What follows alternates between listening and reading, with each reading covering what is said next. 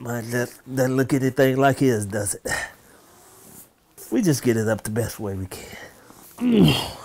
This is Kerry Goode's exercise routine, an effort to stem a tide that has turned against him. Booting us into the second period.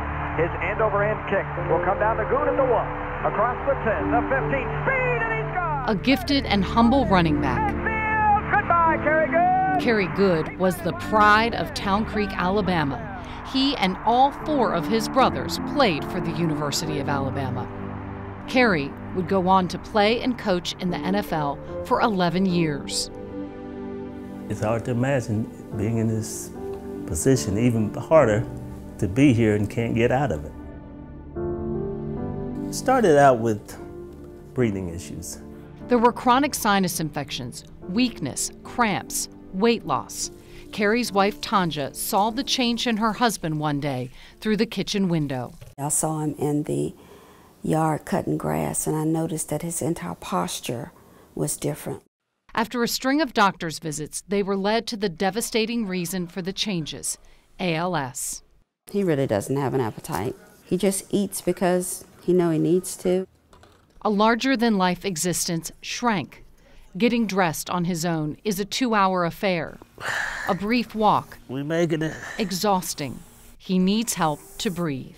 I lost almost 60 pounds initially. You know, I go from 230 pounds, got to play football. At one point, I could bench 400 pounds, squatted over 800. Now I can't pick up a glass of water.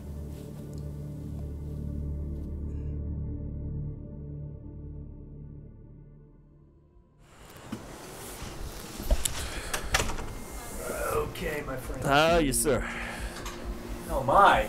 Kerry's doctor, Jonathan Glass, founded Emory Brain Health's ALS Center 20 years ago. All right, I'll go see him. Kerry's one of 550 patients who come to clinic day and do what would normally be impossible see every type of therapist, doctor, surgeon, nurse in a single day. They all come to one place. We get it all one day. There is extra hope this visit because a new drug will soon be available. Everybody's going to want it. So we're trying to figure out how we're going to do that.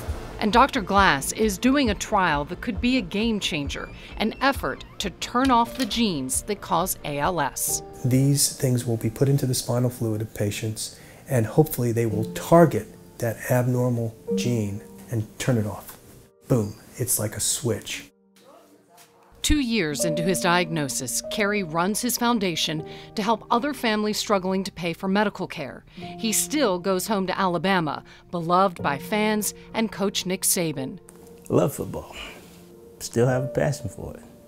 Kerry is among the thousands of players who were plaintiffs in the now settled concussion injury class action suit against the NFL. He is still waiting for a settlement. Playing sports teaches you that if you persevere, it'll turn around. But turnarounds require time, and that is a harsh reality for people with ALS, most of whom will die within three years. You make the best of it. You love harder. You make it work harder. You have friendships harder.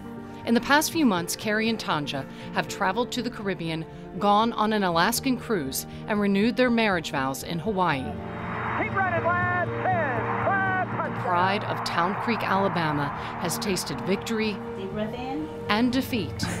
Kerry Goode is facing the last leg of his life's journey with grit and hope. Somewhere down the road, we may find a cure. It may not help me, but I would like to think I had a part in getting some attention to the disease. I got ALS. I'm still living, so it really does not have me.